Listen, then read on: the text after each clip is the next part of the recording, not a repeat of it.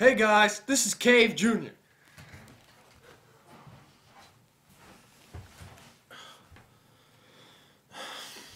Anyway, so right now we're going to talk about the Missouri Compromise. The Missouri Compromise dealt with the sectional struggle over slavery. See, you remember when we talked about sectionalism? Sectionalism is that zealous or over the top uh, love for one's part of the country. Now, there are three sections within the United States the North, the South, and the West. You had industry in the North and the East, and you had slavery in the, in the South. Now, before the Missouri Compromise, you had 11 free states and 11 slave states, which was perfect. Not one side could overpower the other. For instance, if the uh, slave states wanted to pass a law to hurt industry in the North, they would go to Congress and somebody would say, "Hey, anyone want to pass a law to hurt industry in the in the North?" And you'd have 11 slave states raise their hand, "Yes, we do." And you'd have 11 uh, northeastern states says, "No, we don't." A balance. You couldn't pass laws to hurt the other side. Now, keep that in mind. Just so you know, if there's a certain amount of people in a certain area, you could apply to become a state at that time. Remember, we're adding all of this land uh, west of the Mississippi River, right? The Louisiana Purchase. And we also had some unexplored land between the um, uh, Mississippi River and the Appalachian Mountains. And people are starting to kind of go over into these areas, and you had to have rules. When do you become a state?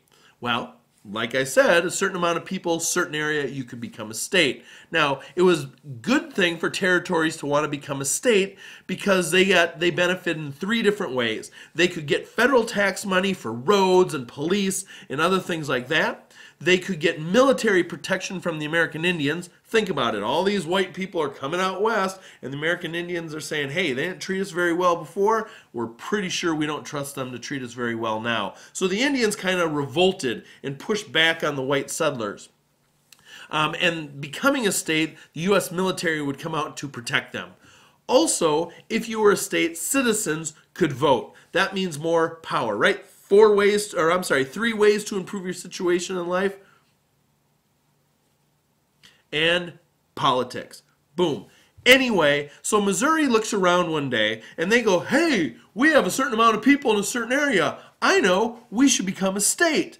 And so what they do is they look around and they look around and they test the soil and they look at the climate and they look how much rainfall there is and they say you know what we have the perfect situation to grow cotton and to grow tobacco you know what we should do let's apply to be a slave state so they go to washington d.c and uh, they apply to become a slave state well, when uh, Congress gets together, they're all excited. Hey, hear ye, hear ye, everyone. Uh, Missouri wants in as a state. What kind? What kind? They went in as a slave state. You had 11 slave states cheer. Yeah! And you had 11 northern states or free states. Oh, what are we going to do? Because eventually, if you had way more slave states or way more free states, then that balance of power would tip. And if the balance of power would tip, then one side could vote to hurt the other. Remember, they don't like each other very much. Thus, the need for a compromise. More tomorrow in class. Peace. Oh, peace.